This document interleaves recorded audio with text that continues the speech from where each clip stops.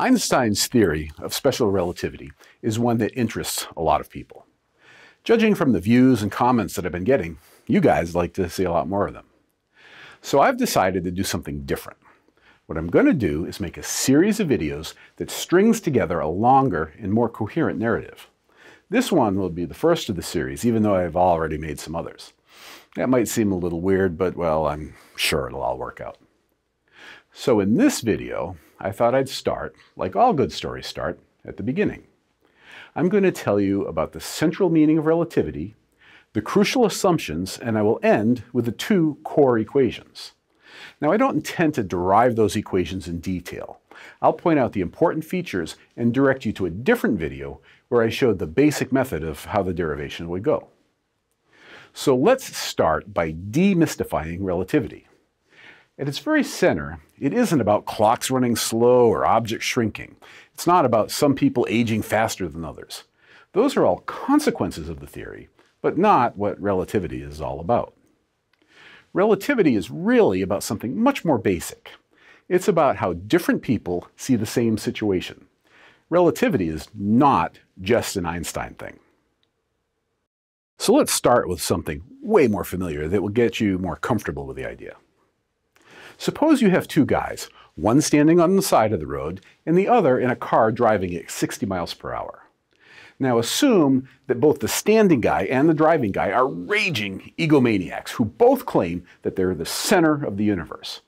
This is the key point. Both of them adamantly claim that they're not moving. On the other hand, while they're both egomaniacs, they are at least willing to try and understand how the other person views the world. And that is the heart of relativity. So let's flesh this out a bit. The car guy believes that he is stationary and the world is zooming by him. Not only that, he thinks that other positions are also stationary. For instance, the location a mile ahead of him is always precisely a mile ahead of him. It doesn't move. Likewise, the position a mile behind him is also stationary and unmoving. So he can specify any location using the symbol x, and we'll add the subscript car to distinguish it from the standing guy. We can even hang some numbers on that. We'll say that the car guy is at location x sub car equals 0. That means that he is at the center of his universe, and remember, we did say that he was a raging egomaniac. Now, the location a mile ahead of him is simply x sub car equals plus 1 mile, while the location behind him is x sub car equals minus one mile. So this establishes the world from the viewpoint of the car guy. How does the standing guy see the same things? Well, the standing guy is also an egomaniac and insists that he is stationary. But he wants to know the location of the car guy, and he says that the location of the car guy is changing. So the standing guy says that his location is x substanding equals zero. And that means when the car passes his position, that's the one time they agree on position, since they both think that their location is x equals 0 and they're in the same place at the same time. We'll get back to time later. Okay, so the standing guy thinks that the car guy is moving and his location after half an hour is plus 30 miles away and after an hour is plus 60 miles. In fact, we can write a simple equation for what the standing guy calls the car guy's location. It is simply his velocity times time. Now that's for the car guy's location, but we can generalize that. If the car guy picks a location that is stationary as far as he's concerned, say a mile ahead of him, then the standing guy also sees that location moving. At the moment the car passes the standing guy, that location is at x substanding equals plus one mile. After half an hour, that location is at plus 31 miles. After an hour, that location is at plus 61 miles, and so on. We can thus make a general equation that tells us how to convert between these two egomaniacs' viewpoints. If the car guy picks any location that is stationary with respect to him and call that location x sub car, the standing guy will say that this location changes with time that can be written as x substanding equals x sub car plus the car's velocity times time. Now this equation is called a Galilean transform, named after Galileo Galilei. His heyday was like in 1600 or so, so this isn't exactly new. In general, we don't want equations that specify that this is a situation involving a car and a standing person. So textbooks simply call the two points of view, what we call frames, as the primed frame and the unprimed frame. So I'm adding here the equations like you'll see in textbooks. For us, the prime frame is the point of view of the standing guy, while the unprimed frame is the point of view of the car guy.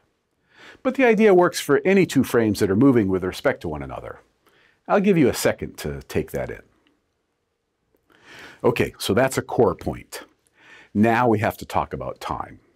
In our intuitive and familiar world, we say that the two people, standing guy and car guy, or prime frame and unprime frame, experience time the same way. So we can write that here. T sub standing equals T sub car, or equivalently, T prime equals T. By the way, you can do the same exercise starting from the point of view of the standing guy. He can pick positions and then we can ask what the car guy thinks. I leave that to you to think through.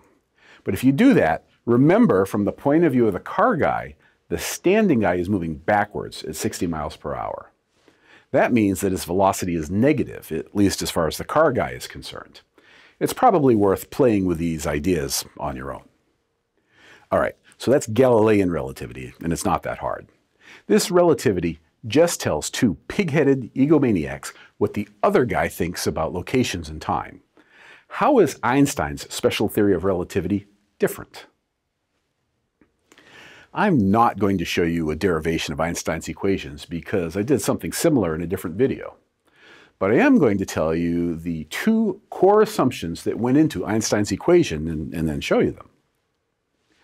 The first core assumption is that the laws of physics are the same for both people, or what we call observers in relativity lingo. That also means that both of them can say that they are the unmoving person. In fact, both of them has to insist that they are the unmoving person. Note that this is true for both Galilean and Einsteinian equations. The thing that is unique to Einstein is that he said the speed of light was the same for all observers. This flies in the face of common sense. After all, if you have two cars moving in opposite directions at 60 miles an hour on the highway, their closing speed is 120 miles per hour. But that's not how it is for light. Everybody sees the same speed. If you take these two assumptions, you can derive Einstein's transformation equation. Actually, they were originally derived by physicists long before Einstein. They are named Lorentz transforms after Hendrik Lorentz, but it was Einstein who embraced them in a modern way. Like I said before, I am not going to derive the equations here. There are plenty of places you can look them up.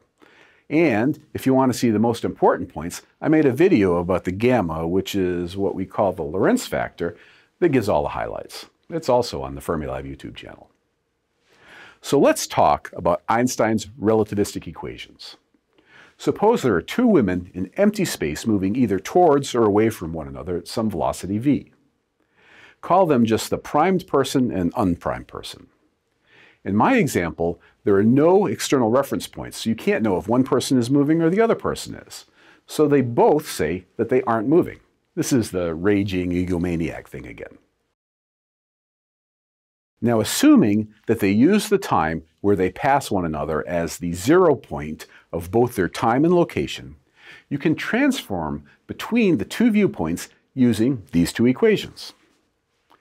If we start with the unprimed woman and she picks a time and a location that is stationary with respect to her and call them t and x, we can determine the position and location for the primed person, and those are embodied in these equations here. For maximum clarity, let's explicitly go through the equations. For position, we have x prime equals gamma times the quantity, x plus their velocity, times the elapsed time seemed by the unprimed woman and denoted t.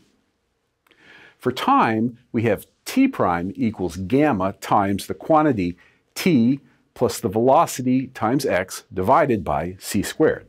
And of course, c is the speed of light. Gamma is called the Lorentz factor and is 1 over the square root of 1 minus the quantity v squared over c squared. And I show where that factor comes from in the Lorentz factor video. You'll notice how the position equation is pretty similar to the Galilean transforms, but the time one is very different. Now I'll use these equations to show you some cool things in another video, but I want to emphasize some things here before we wrap it all up. These are the two core equations of relativity. Everything else derives from them. And it's super important to remember exactly what they are, which are equations that tell you how to convert from the point of view of one person to the point of view of another person. That's it. It's just like the car we talked about, where the standing guy says the location of the car changed as the guy drove, while the car guy said that the car was stationary and the standing guy was moving away from the car. That's it. That's all that's going on here. So this video has gotten a little long, but here's what I'm going to do. In the next video, I'll guide you on how to use them. Some of you are already asking about the twin paradox and other oddities of relativity, and we'll get there a couple videos from now. In the meantime, let's just take a look at these two magnificent equations, shall we? Okay, so this relativity series is a departure from how I've done things in the past. If you like the idea of a series of connected videos, let me know in the comments. Of course, you guys are all pros, so I don't need to tell you to like, subscribe, and share. We want the Fermilab YouTube channel to be the best on the internet. And, as always, remember that physics is everything.